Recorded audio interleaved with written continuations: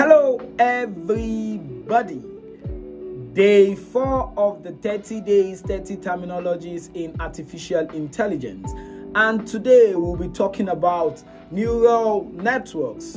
Before we proceed, watch the previous videos. The link is here. Just click on it and go watch it. So, what are neural network?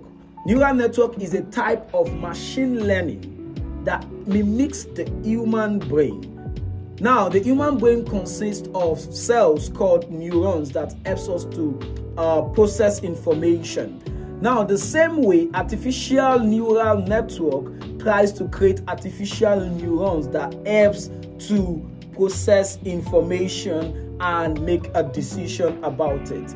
Um, artificial neural network consists of three main parts. We have the input layer, the hidden layer, and the output layer. The input is where we ingest data, data ingestion, where we ingest data. Then the hidden layer is where we process, we add weight, we kind of all those interconnection, process and analyze data. And the output layer is where the decision comes out and we tend to make when we decision comes out, we predict or we based on the input hidden and we get an output. So now that we know this, let me give an example of um, a neural network.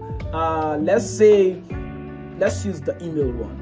Uh, you want to identify spam, so email spam detection. So you have a ton of data sets that looks like this type of data is supposed to be classified as spam or not. So you have tons of data sets you are trying to classify as either they are spams or not. So the data you feed it with is data, maybe some of them do not have title, some of them have a lot of free, free, free things inside of it. Some of them have emails that are not is looking a bit scary. Some of them you don't recognize the email. So all of those information are what we are going to feed our model. So that is the input. All those data set that we think can help us predict that is the information. Then the hidden layer goes through all of those information, try to split them. Okay, when I see this, when I see this, this is the weight I'll give to it. This is what this is look like, and it comes up with an output.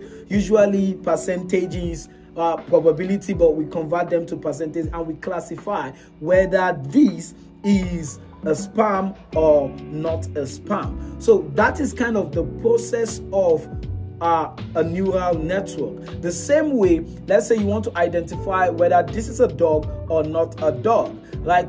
The uh, neural network get thousands of inputs of different dog pictures or animal pictures and thereby try to separate them. This type of um, uh, he analyzes them in pixel, right? If it's image.